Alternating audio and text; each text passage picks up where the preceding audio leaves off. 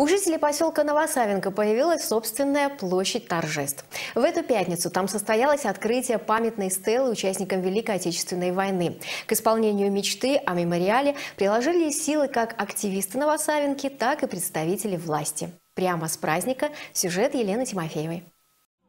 Поселок на окраине Ленинского района города старше самого Магнитогорска. Новосавенке более 120 лет. Старожилы бережно хранят историю поселка. В годы войны 80 его жителей отправились на фронт, вернулись 50. Дети, внуки и правнуки фронтовиков продолжают жить здесь, но места, куда было бы можно возложить цветы в День Победы, в этом поселении не было до сих пор. Два года тому назад наш, один из наших жителей, сейчас его уже нет с нами, Михайлов Михаил, он сказал, я, говорит, объездил пол России, но в каждом уголке есть памятник фронтовикам, а мы, как Иваны, не помнящие родства. Это неправильно и несправедливо.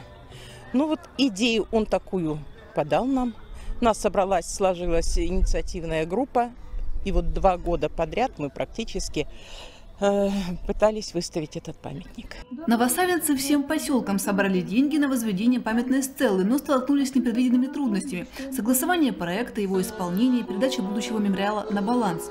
Преодолеть их и воплотить мечту помогли спонсоры и неравнодушные люди, в числе которых оказался и депутат по второму округу Олег Казаков.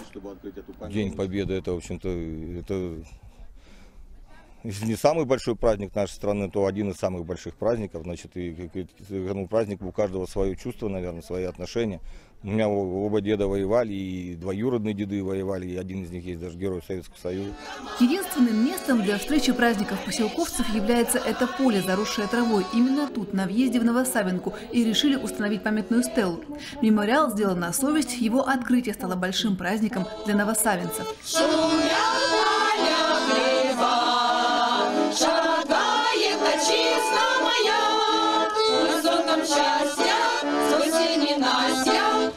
Сегодня в Новоставенке остались только два ветерана Великой Отечественной войны. По состоянию здоровья старикам под 100 лет.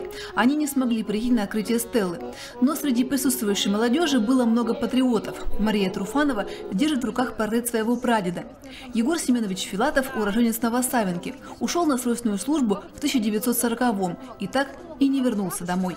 Погиб 26 июня 1944 года севернее Ленинграда в одной из битв. Его смертельно ранило, когда он осматривал минное поле, чтобы танк не подорвался. Бабушка очень много про отца рассказывала. Для нее это было очень важно. Как-то она сумела нам так донести, рассказать, что и для нас это тоже стало очень важно помнить о нашем герое.